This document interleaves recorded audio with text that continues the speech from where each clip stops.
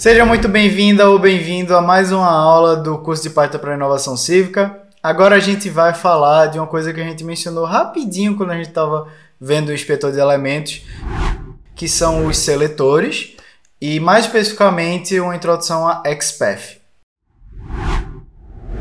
E o que são esses seletores?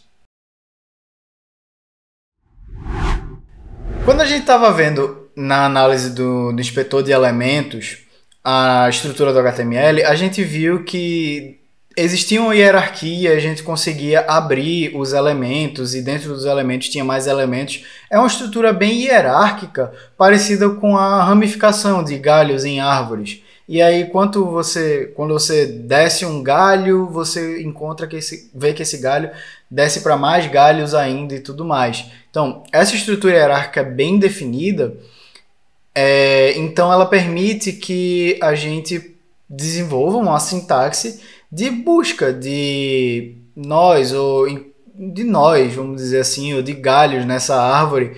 E aí é, os seletores são isso, é uma linguagem, uma sintaxe que facilita essa, essa busca por elementos dentro dessa árvore que seria o HTML ou XML.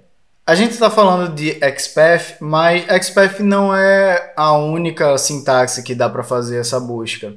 Uma outra muito conhecida, muito utilizada também é CSS.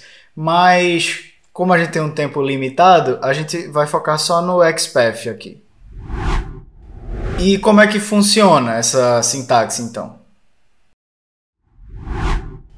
Agora eu vou passar por vários exemplos dessa sintaxe, só que bem rapidinho, mais para cobrir por alto assim, e essas tabelas que eu vou apresentar vão ficar para referência para você consultar depois. É mais o importante aqui só para a gente ver, o, entender um pouco do que a gente vai estar tá fazendo quando estiver aplicando isso em um exemplo daqui a pouquinho.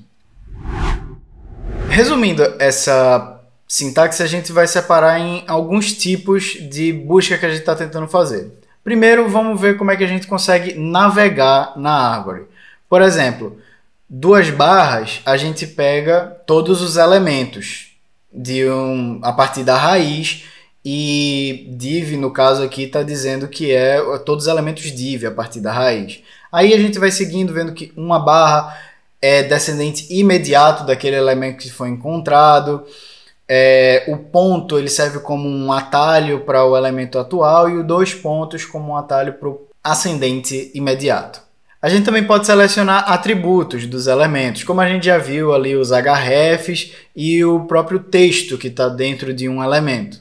Condições são uma coisa bem relevante. Às vezes você tem dois elementos que são do mesmo tipo, mas você só quer selecionar um deles. Por exemplo, o que tem o texto igual a olá. E também você pode fazer uma condição que envolve uma substring. Você quer encontrar se um texto tem x dentro dele, por exemplo. Também é possível fazer comparações numéricas e fazer uma lógica booleana com essas comparações, com ands, ors, no caso i e ou, e negações, né, como not, etc. A gente também pode fazer seleção em ordem, como itens de uma lista, né, o índice de um item numa lista. Por exemplo, você usando a mesma sintaxe que a gente estava usando para condicional, que são aqueles colchetes, a gente pode selecionar um segundo item de uma lista ou então usar funções que permitem encontrar o último elemento de uma lista. Agora vamos usar tudo aquilo que a gente viu sobre XPath por alto, né? Mas dá para usar já na prefeitura municipal de Caetité, na Bahia.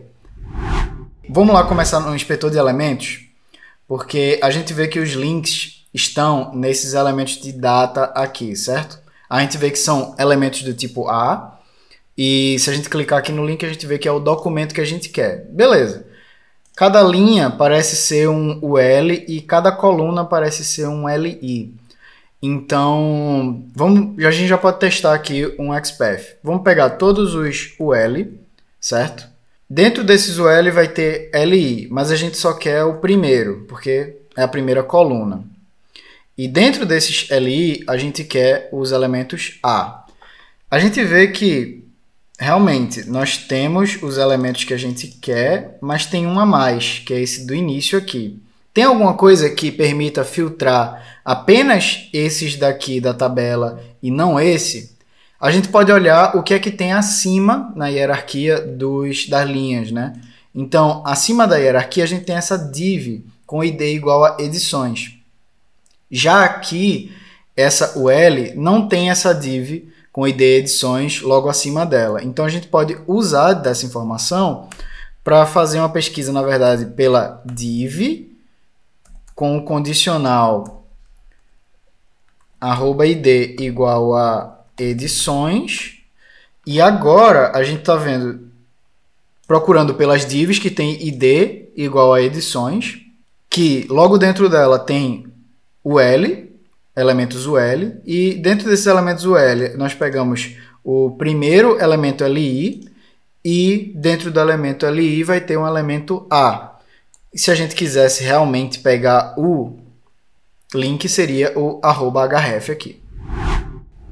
E é isso. Agora a gente conseguiu ver mais a fundo como que os seletores ajudam nessa seleção de elementos né, dentro de um documento. Isso vai ser muito importante porque no raspador a gente só vai ter como selecionar os elementos através desse método. Então é bem, é bem importante a gente ter isso bem compreendido e deu para ver um pouquinho aí de XPath, as partes mais importantes e já com algum exemplo que dá para visualizar mais ou menos como é que isso funciona, né?